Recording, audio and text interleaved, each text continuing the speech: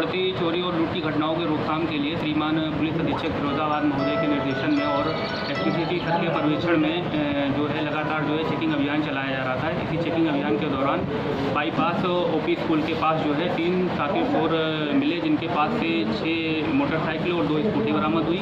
दौरान जामा तलाशी उनके पास से दो तमंचे भी बरामद हुए मुकदमा पंजीकृत कर लिया गया और इनको जेल भेजा जा रहा है। सर इनके पहले कुछ भी रहा है इनका पता किया जा रहा है, वहाँ आगरा और मथुरा से भी ये जेल में गए हैं। इसमें जो एक अभियुक्त रिंकू है, वो साकिब किस्म का चोर है और इसमें पहले से भी मुकदमे हैं। बाकी जो इनकी क्रिमिनल हिस्ट्री है और थानों से उसका हम लोग पता लगवा रहे हैं। जैसे आएगी, उसको हम लोग अपने मुकदमे में उसको इंक्लूड करेंगे।